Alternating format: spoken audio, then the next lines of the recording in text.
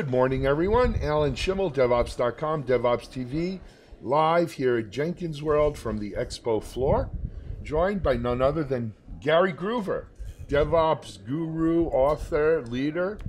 Uh, and what else, Gary? I just a guy trying to help other people figure Just out how to improve their software development delivery processes. Absolutely. But and for those who don't know, Gary's written several great books on DevOps. Uh, the one closest, the one I like best was leading the transformation. yeah. But Number what's two. the new? Uh, starting and scaling DevOps. Starting and scaling DevOps is the one with the elephant with Yeah, the yeah. ball on it. I remember. Yes, but Gary, you you and I have interviewed. You had the pleasure of interviewing you many times, and I wanted to really focus in on our time today with what is still the biggest question we get at DevOps.com, and that is, hey, this sounds great, Right. But I don't know how to get it started. I don't know how do we how do you how do you start this DevOps transformation? How, who, who do I need? To- do I got to kill someone? I mean, Well, to me, I usually start at the executives and I have them break it down into as small a system as they can. Mhm. And realistically, what you want to do is break it down into the smallest deployment pipeline you can get. And a deployment pipeline is code that, because it's tightly coupled, has to be developed, qualified, and deployed as a system. If you're lucky and you have a really clean architecture, that gets you down to like five to seven people, and you do the Amazon thing and you put people on Mhm. it, and it's a cultural transformation. And look at a lot of what the unicorns are doing, and you can do that. Sure. What I find in a lot of large organizations, though, is they're more tightly coupled than that, and that deployment pipeline can include 50, 100, or thousands of people that have to work together and coordinate it. But make that as small as you can because you're going to want to try to optimize that because DevOps is all about the outcomes. It's about how do you de- develop and deliver code on a more frequent basis while enabling all aspects of quality and security and performance. And that's going to be different for different deployment pipelines. So as much as you can, make it as small as you can because small problems are easier to solve than large problems. And then once you have that deployment pipeline figured out, try to get everybody aligned about what is how long does it take for it to flow through? What are the types of issues? There's metrics in my book that enable you to map that out specifically and capture the types of things that are causing you problems. And then go after the things that are your biggest impediments. Those may be infrastructure those may be consistency those may be your testing time or it may be your testing consistency or it may be your code.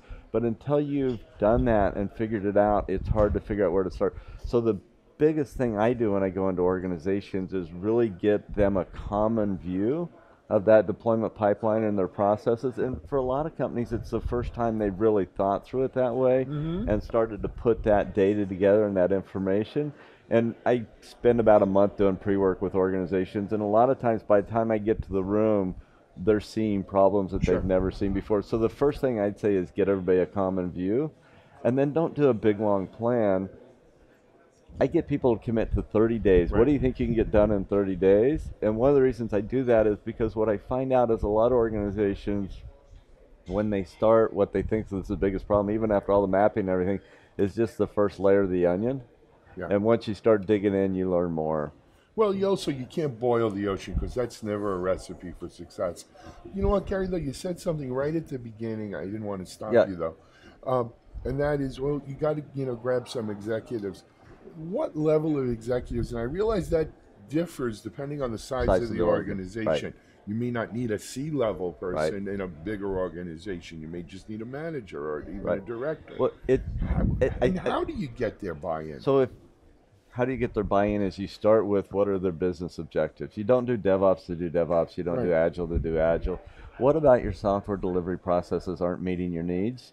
Mm-hmm. Figure out what that is. And the reason I like DevOps more than some of the other things is what I find is when you force yourself to increase the frequency of build test cycles, you're forcing yourself to fix issues, fix issues that have been in your organizations for years, but your Kicking down organization has road. brute forced your way Right. through it because they're not doing it very often.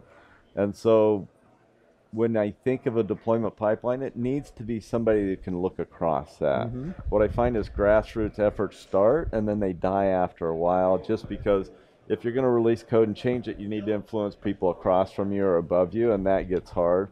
But if, if you get into an organization and you've got an application that can independently be developed, qualified, and deployed, look at the leader of app. If you got a separate QA organization, leader QA, and then the operations people, get those three people to come together, map out the process with their team, and get them committed to go on a continuous improvement journey. And it's a journey, and as long as you've gone high enough up that you can get a system-wide view across it, and you don't have people sub-optimizing their parts, mm-hmm. I think you've gotten to the right level for that individual deployment pipeline. No doubt, no doubt. So, Gary, we're almost out of time here. For people who maybe want to grab copies of the book, or maybe they Right. want to engage you, because I know, I mean, one of the things you do when you're not writing is you're actively consulting Yeah, yeah. large I'm, I'm organizations. helping large organizations. Um, how can they find out more? Uh, GaryGruver.com. Go to my website. Yeah, or send me an email at Gary at. GaryGruver.com. Get it out there. Um, you know, I do execution workshops. I do executive workshops. I have people come in and do technical workshops, and it's it's really getting you started on your journey. And then I don't just do the workshop when I engage with the customer. I continue to coach them for several months because what I'm finding is it's it's probably four to six months down the road before they're really starting to internalize And and, they get this stuff, and it takes on. a while. Yeah. You're right. All right. Gary Gruver, DevOps author and guru extraordinaire. Thanks for being Yeah, here it's with great to today. see you again, Alan. Great to see you, Gary, always. Back to Idaho today, or Yeah, back to Idaho tonight. I'm gonna miss the ball game you're tonight. miss Sorry the game, about but that. I'll, I'll cheer him on for you. All right. All right, this is Alan Shimmel, DevOps.com, DevOps TV here at Jenkins World 2017.